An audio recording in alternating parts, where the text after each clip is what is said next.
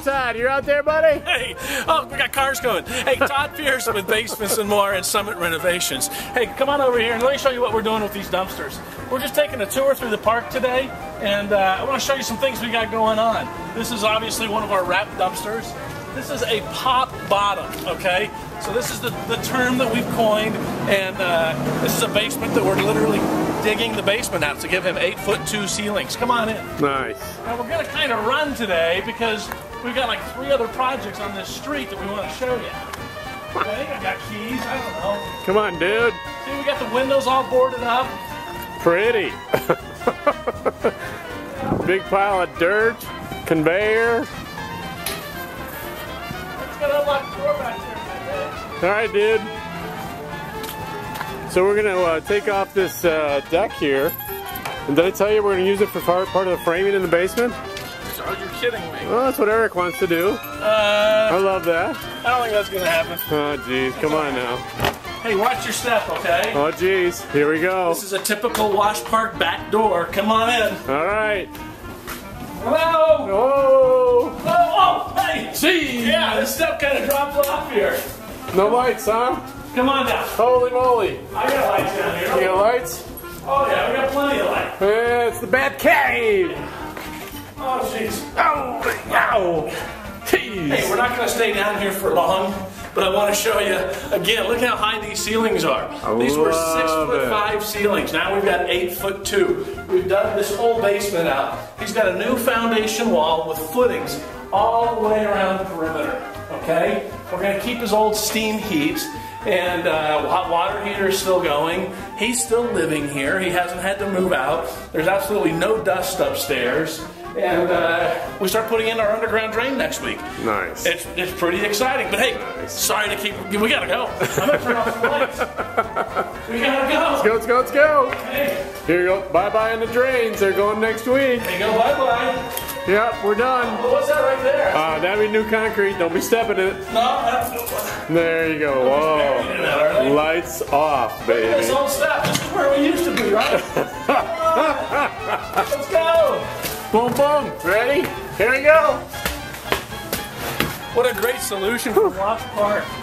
Adding 900 square feet for just over $100,000. Holy cow, are you talking about value or what? I love it. Come on. We're gonna end up re-scraping, re-landscaping this whole area. Put a little swell in, uh, French drain on the outside, and uh, get rid of all this moisture. Nice. Nice. How many dump trucks have we gotten out of here? Oh, jeez. Come on. Six, maybe seven. Six, seven? Yeah, we got a lot of work still still to do. We got to uh, fix the sidewalks, tear them out, and re-pour them, get them pointed the right direction. Holy moly! All right, you got that? I can lock this thing up. Oh, jeez. We're Get the good, expert. All right, All right. All right, Dave, I'll take this. You're gonna drive us, right? I am. I am. Okay, ready? yeah. Let's go. This is a typical day in the life, isn't it? I love it. Huh? I love it. Isn't this kind of what we do for a living? This is what we do for a living. All right. Car needs to go forward though. You started first. there we go. All right. So Where are we going? we're gonna just go around the block and we'll go up Gaylord.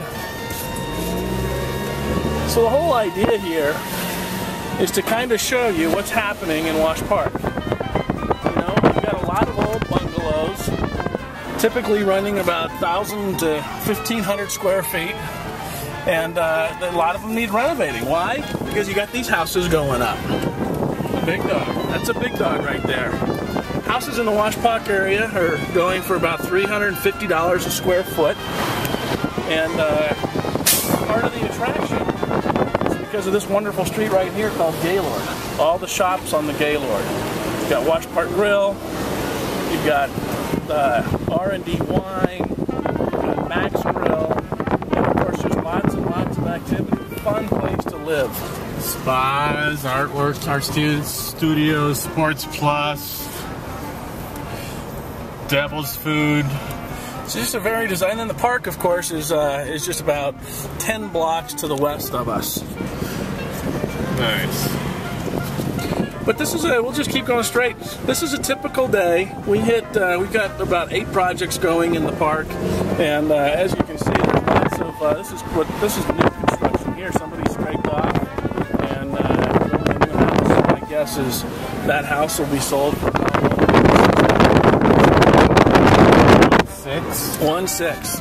You know, they're selling these lots for between 400 and uh, 400 and 550 thousand dollars, and that's for a lot that you're going to actually scrape.